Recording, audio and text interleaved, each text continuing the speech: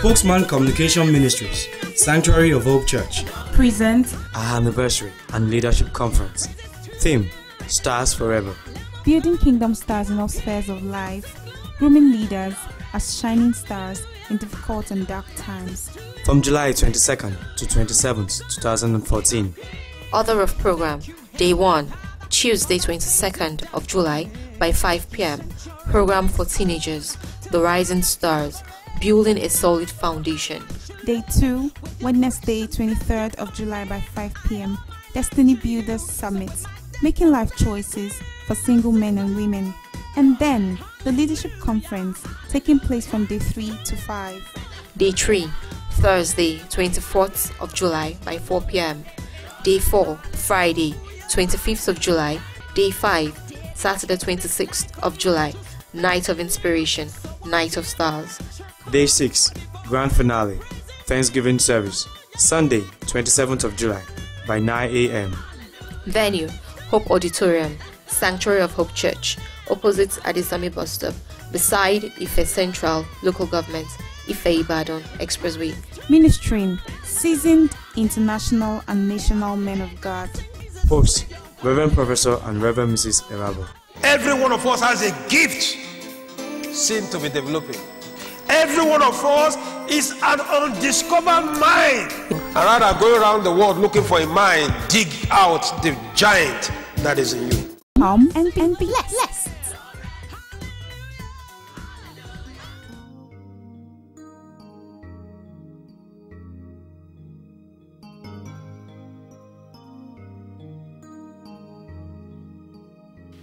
Man shall live by every word that proceeds out of the mouth of the Father.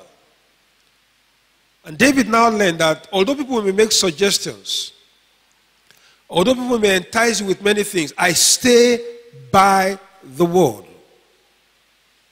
If it is not the word, then I wouldn't live by it. If God says no, then it is no.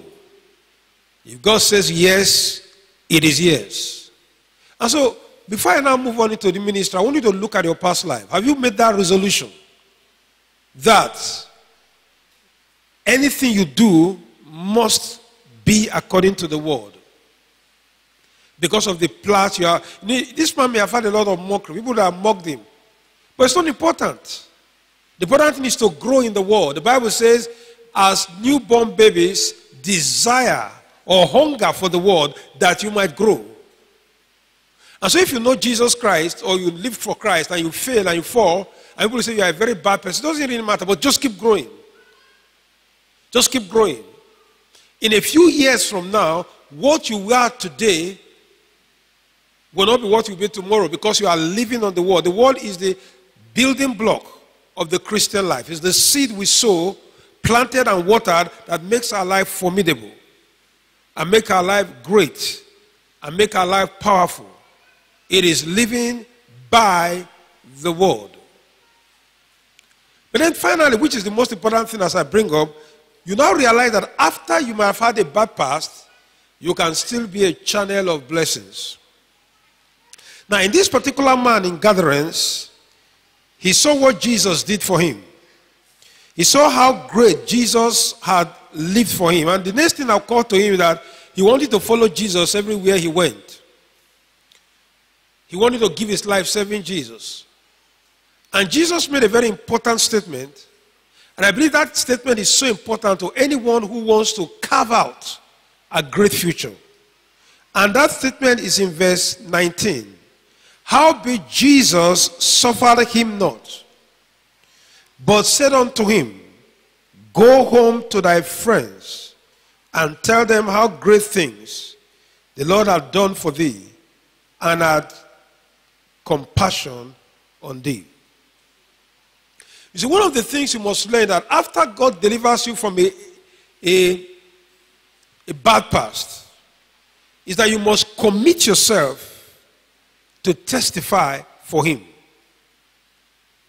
You must commit yourself to a ministry for Him.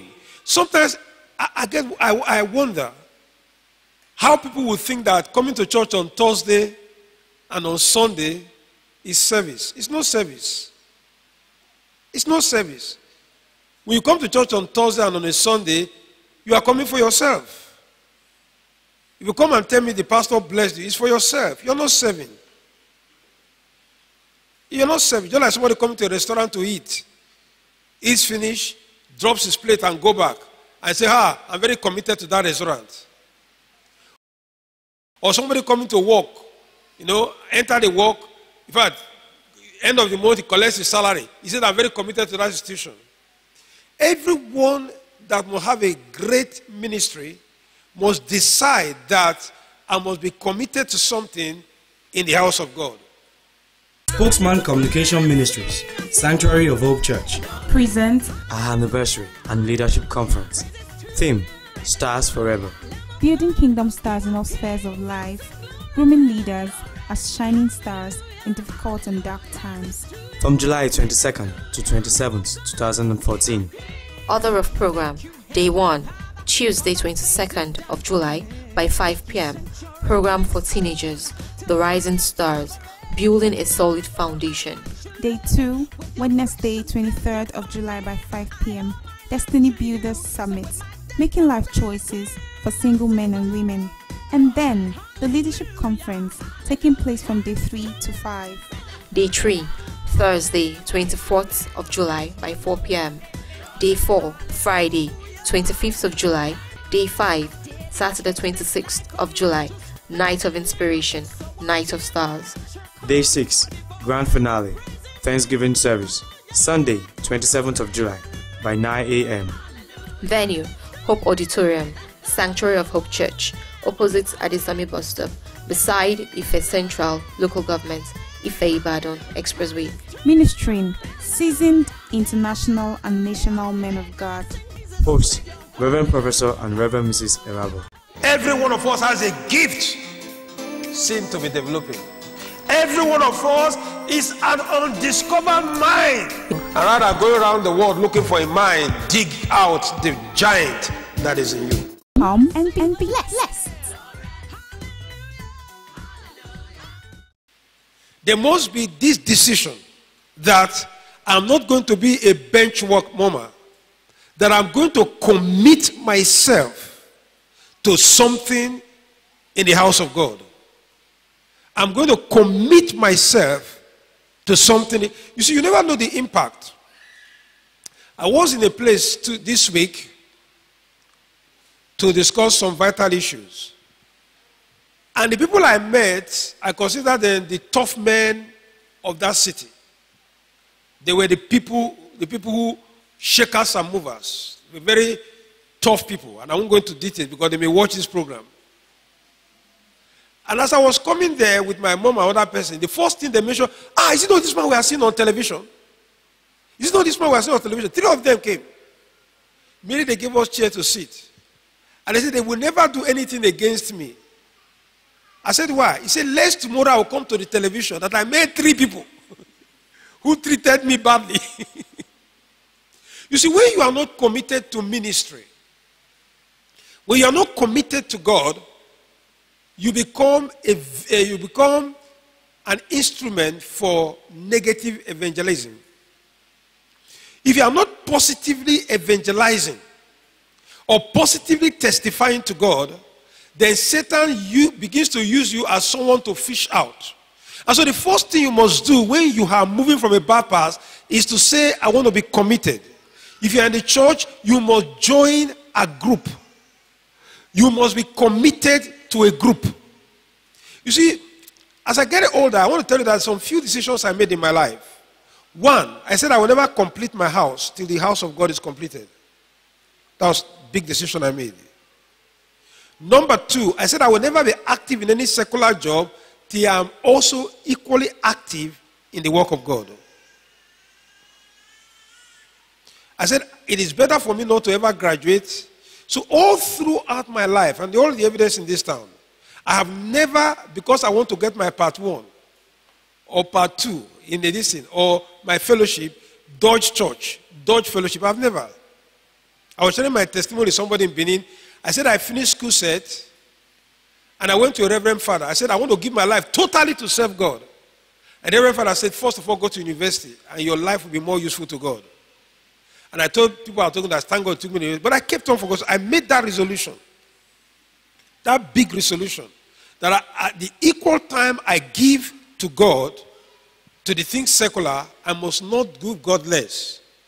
The third resolution I made of my whole lifetime that every single money I earn or ever get in this life, God must have a portion.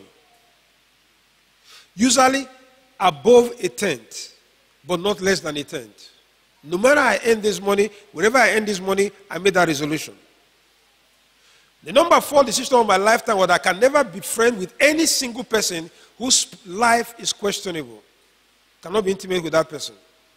Once in my spirit I sense that this man's life is questionable, he can't be my friend. We can sit down together, we can chat, no way he can be my friend. I made a resolution that I can never, ever eat any meal in my life, fasting, without first of all reading the Bible. And I would never greet anybody first in the morning without first of all praying. See, there are some resolutions you make that determine the breath of your life and that determine how your life will ever turn out to be. You see, when you don't make those resolutions, your life misses out. And so, you must commit yourself to a ministry. And that's exactly what God was telling this man. Commit yourself to a ministry. And the first thing, go to your home and to your friends. Testify to those around you. Let them know you are changed. Let them know you don't sleep with your boyfriend again. Tell them, look, man, I used to sleep with my boyfriend and I, I, I usher in the church. I have decided I will not sleep with my boyfriend again. If he comes, I'm not available. Tell them, I'm not going to wear this kind of dress that I feel that is, is good to others people, sensual and erotic feelings, but it's against my spiritual life. I wouldn't do it. Tell them that I will not get involved with this internet fraud. Go and tell your friends. For six years, I was um, HOD of medicine or somewhere. But I noticed that nobody has ever come to me and tell me, please influence me. Um, my sister is there, give him paper. Or my brother is the other one, help him. Because clearly I had made my ground known. My principles are clear. They are very, very, very clear. Very clear. When you are hiding to your roommate that you're not a Christian, when you're not letting them know you're a child of God, then you're not a person. Uh, Jesus Christ told that woman the one evidence that will put the enemy off guard is to go to your home and your friends. Because by the time you tell your friends, I'm not like this, you know, you are giving them evidence on which word to indict you. And so they will keep an eye on you, they will watch you, they will look at your life. The second thing Jesus wanted this man to know that when you go out, you don't give the devil a foothold. Because when you are when you go out to testify, when you go out to testify, you put the devil on the defensive. You put him on the defensive. But when you don't testify, the enemy is on the offensive. So this morning, if you are coming out of a bad past, you must go out and testify. You must go out and tell people who you are and tell what God has done for you. That was a go and tell them. The third thing God wanted this man to talk about, he must go out and talk about the graciousness of God. He says, he told them, he says in verse uh, 19, he says, Go and tell them what God has told them. And, and he had had compassion on thee. Spokesman Communication Ministries, Sanctuary of Hope Church, present our anniversary and leadership conference. Theme Stars Forever. Building kingdom stars in all spheres of life, grooming leaders as shining stars in difficult and dark times. From July 22nd to 27th, 2014. Author of program Day 1, Tuesday 22nd of July by 5 p.m. Program for teenagers, The Rising Stars, Building a Solid Foundation. Day 2, Wednesday 23rd of July by 5 p.m. Destiny Builders Summit making life choices for single men and women. And then the leadership conference taking place from day 3 to 5. Day 3, Thursday, 24th of July by 4 p.m. Day 4, Friday, 25th of July. Day 5, Saturday, 26th of July. Night of Inspiration, Night of Stars.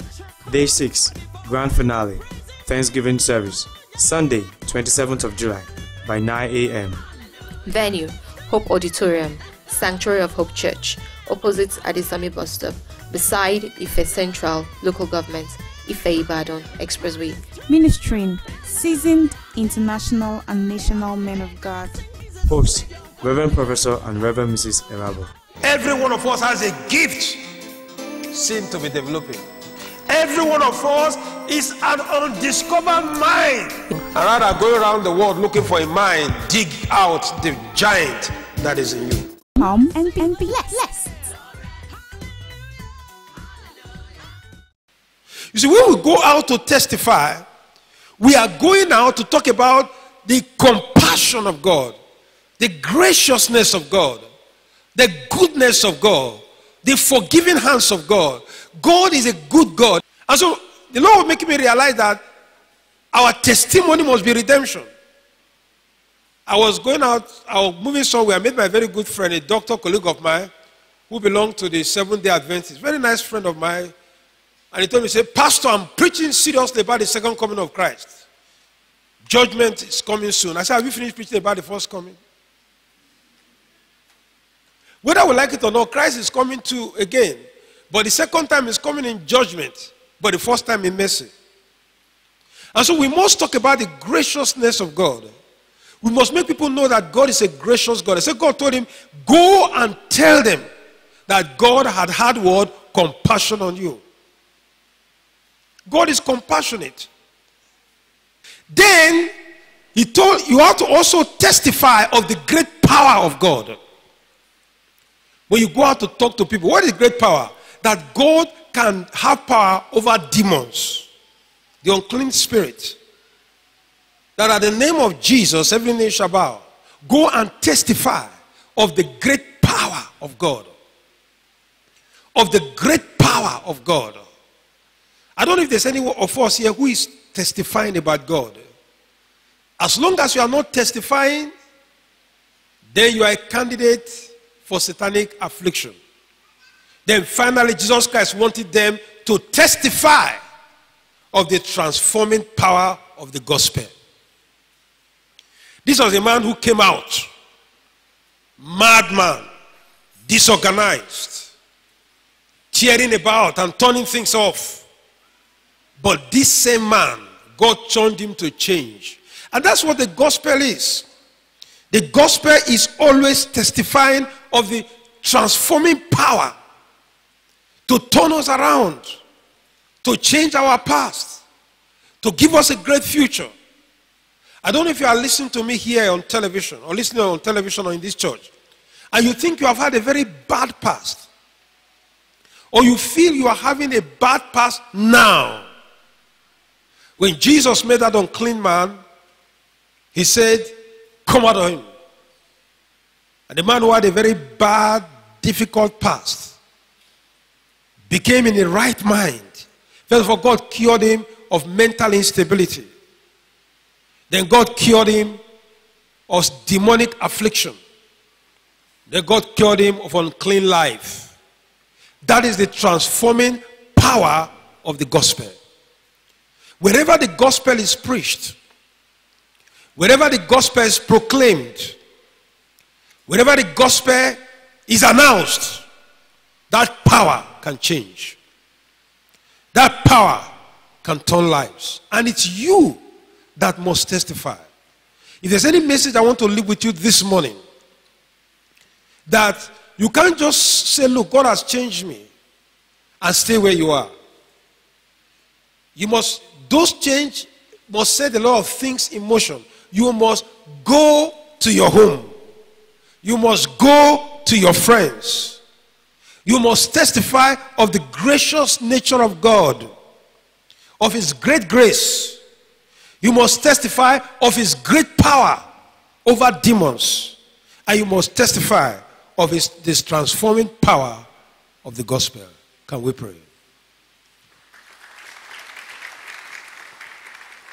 I don't know if you are here listening to me this morning. Uh, you don't know Jesus Christ. Or you give your life to Jesus Christ and you took it back again. And you want to say, Pastor, please, I want you to come. I want to give Jesus the first place in my life. Can you raise up your hand now? Let me pray for you. For watching me on television, you can just put your hand upon your, your Bible or your say. Just Raise up your hand if you want me to pray for you now. You have been living a bad past. My sermon says a bad past in a great ministry. And today you want to say, Pastor, I want to start having a great ministry. Or you are being a bad pastor and you are still in transition. But you want to transition to a great ministry. Raise up your right hand. Yes, is there someone here? One more person. One more person who wants to touch or you are a child of God, you have not yet started having a great ministry. You just come to church on Thursday, come to church on, on Sunday. Oh, I want the pastor to know me. That's not life. That is not Christianity. That is parasitism. But today you want to say, God, I want to have a great ministry. Raise up your hand wherever you are. Raise up your hand. Thank you very much. You, are a, you have not joined an activity group in the church. You don't belong to any activity group. You want to say today, Pastor, from today now, I'm going to commit myself to an activity group. I'm going to commit myself to something. Stand up wherever you are. I'm going to pray for you. Stand up wherever you are. Those of you raise up your hand, stand up. There's power here to pray for you right now. Stand up wherever you are. Say, God, I want to now commit myself. God has need of you. Go and testify, is the word. And if you are here today, you want to say, Pastor, I want to testify. I want to be committed to the work of God. I want to be part of this ministry. I want to be part of this job of reaching out to souls. Can you raise up your hand and stand up? Thank you very much. Yes, there are two more people here whom God is saying, don't sit down. And maybe God has been talking to you and you have been holding back. And now God wants you not to hold back again. If you are in that situation, stand up. Thank you very much. Now, those of you who are standing up, just pray this after me. Oh God, I come in the name of Jesus. I pray, Father, that you give me the grace to move. Father, energize my spirit. Father, energize my soul. Father, energize my being. And fill me with the power of your spirit. I ask this in Jesus' name. Spokesman Communication Ministries, Sanctuary of Hope Church, present our anniversary and leadership conference. Theme Stars Forever. Building kingdom stars in all spheres of life, grooming leaders as shining stars in difficult and dark times. From July 22nd to 27th, 2014. Order of program Day 1, Tuesday 22nd of July by 5 p.m. Program for teenagers, The Rising Stars building a solid foundation. Day 2, Wednesday, 23rd of July by 5 p.m. Destiny Builders Summit, making life choices for single men and women. And then the Leadership Conference, taking place from day 3 to 5. Day 3, Thursday, 24th of July by 4 p.m. Day 4, Friday, 25th of July. Day 5, Saturday, 26th of July. Night of Inspiration, Night of Stars. Day 6, Grand Finale, Thanksgiving Service, Sunday, 27th of July, by 9 a.m. Venue, Hope Auditorium, Sanctuary of Hope Church, opposite Adesami Bus Stop, beside Ife Central Local Government, Ife Ibadan Expressway. Ministering seasoned international and national men of God. Host, Reverend Professor and Reverend Mrs. Erhabor. Every one of us has a gift seen to be developing. Every one of us is an undiscovered mind. And rather go around the world looking for a mine, dig out the giant that is in you. Come and, and be blessed. Thank you very much for tuning into the Hope for the Nation television program.